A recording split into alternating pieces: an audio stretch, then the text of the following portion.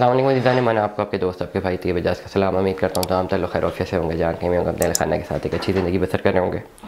कहते हैं, जब तक जो है लालची ज़िंदा है ना, नौसरबाज का कारोबार जो है ना, वो चलता रहेगा। और रियल स्टेट में आप लोगों को नुकसान होता ही इसलिए है क्योंकि आप लालच करते हैं। और आपको नुकसान देने वाला कोई भी नहीं होता, एक नौसरबाज या एक ठग आदमी होता है जो आपको नुकसान दे देता है। कैसे नुकसान देता है? सबस बाहर दिखा के हमेशा नुकसान दिलाता है मिस कमिटमेंट करके नुकसान दिलाता है। रियल इस्टेट का जो बिज़नेस है, पाकिस्तान की इकोनॉमी में, वो ट्रस्ट पे बिल्ड इन करता है। ट्रस्ट है ओवरऑल ट्रस्ट है।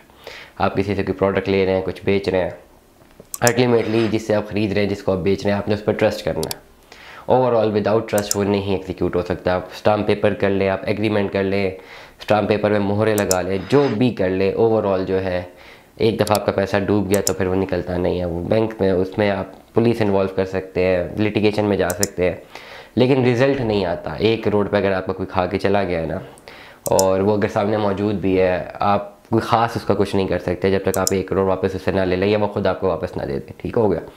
एक करोड़ आपसे लेता है तो आपसे ये भी कहता है ना, मैं एक करोड़ का बीस लाख करके दूँगा, या मैं इन्वेस्ट करूँगा और मैं इतना प्रॉफिट दूँगा। तो प्रॉफिट तो आप भूल दें जो अपने अपनी एक्चुअल अमाउंट दी होती है, वो भी रिटर्न नहीं होती है और अगर वो खा जाता है तो फिर आपको पुलिस की तरफ़ जाते हैं लिटिगेशन में जाते हैं, आपको मज़ीद पैसे देने पड़ते हैं।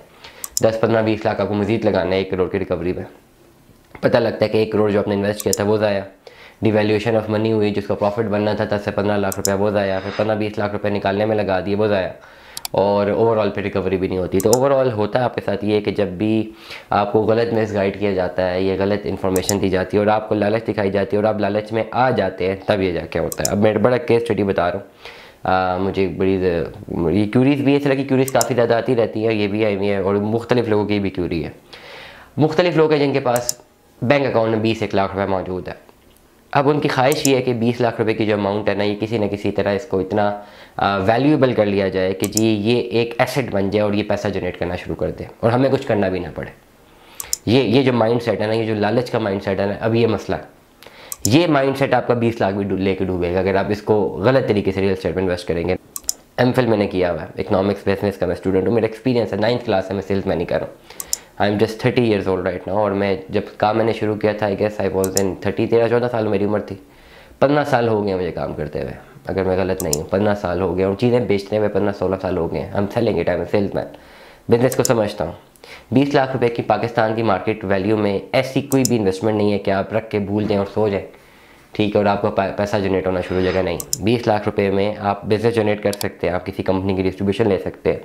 बड़ी कंपनी की डिस्ट्रीब्यूशन ले सकते हैं, आप अपनी एक छोटी सी फैक्ट्री डाल सकते हैं, खुद डिस्ट्रीब्यूशन शुरू कर सकते हैं, आप पोल्ट्री का बिज़नेस शुरू कर सकते हैं, आप करियाना स्टोर एक डाल सकते हैं छोटा सा आप ऑनलाइन जो है अमेजोन में अपनी इन्वेस्टमेंट कर सकते हैं शॉपिफाई स्टोर बना सकते हैं छोटी सी गारमेंट्स की शॉप खोल सकते हैं मल्टीपल काम कर सकते हैं, लेकिन ये सारे के सारे के साथ, काम करने के साथ आपको बीस लाख रुपये भी इन्वेस्ट करना है प्लस बीस से तीस लाख रुपये की एक मेहनत है जो आपने करनी है। वो भी कर देंगे साथ। पोल्ट्री का बिज़नेस खोलेंगे या आप जो है आ, कोई भी अमेजोन पे कोई शॉपिफाई पे अपना प्रोडक्ट लिस्टिंग करते हैं छोटी सी दुकान खोलते हैं फैक्ट्री बनाते हैं छोटी सी फैक्ट्री बना लें।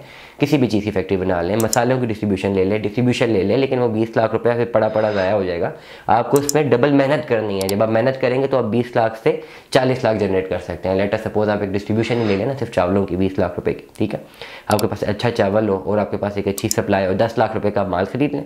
दस लाख रुपये आपके पास गाड़ी हो जिसमें सप्लाई दे सके। आप चावल की डिमांड एंड सप्लाई पूरी नहीं कर सकते मार्केट में। इतनी दुकानें, इतनी मार्केट है, सौ दुकानों पर जाएँगे, दस लोग तो चावल लेंगे ही लेंगे। फॉर एग्जांपल एग्जांपल बता रहा हूँ आपको महीने की, हर रोज़ की आप दस से बारह हज़ार रुपये सेल कर सकते हैं। तीन लाख रुपए से ऊपर की आप सेल कर सकते हैं अगर चाहे तो दस लाख की भी कर सकते हैं। अगर ट्वेंटी परसेंट भी मार्जिन बचे तो महीने में आपको दो लाख बच सकता है। अब ये हलाल प्रॉफिट है, बड़ी मेहनत से आता है। लोग क्या चाहते हैं? वो चाहते हैं यार बीस लाख रुपया मैं किसी तरह इन्वेस्ट कर दूँ रियल स्टेट में, बस बैठा रहूँ, ये बीस का चालीस भी हो जाए, मुझे रेंट भी है। अब ये सूद है।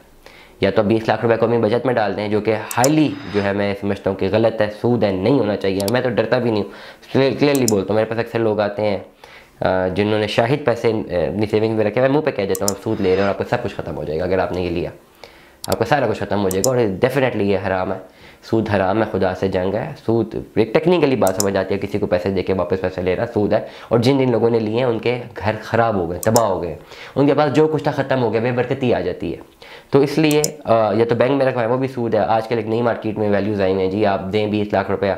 हम आपको एक शॉप दे रहे हैं। शॉप के जरा कागज़ में शॉप है। शॉप तो बनी नहीं है। ज़मीन भी नहीं बनी। जी रेंटल वैल्यू हमारा फलाना ग्रुप है, हमारी फलानी जगह पे भी नो पता नहीं प्रोजेक्ट है, हम फलानी जगह प्रोजेक्ट है, इतने प्रोजेक्ट हमने डिलीवर कर दिए हैं। ये सारा मंजन होता है झूठ बोलने के लिए और ये बीस बीस लाख आप जमा कराते रहेंगे। आठ दस महीने आपको उसमें मिलती रहेगी रेंटल वैल्यू दस, बीस, पच्चीस, तीस हज़ार रुपये। आप बड़े खुश होंगे। बाद में पता लगेगा जेब से दिया बीस लाख था। पाँच छः लाख रेंटल वैल्यू की मद में मिला। चौदह लाख रुपये मजीद हुआ। कंपनी डिफ़ॉल्ट कर गई।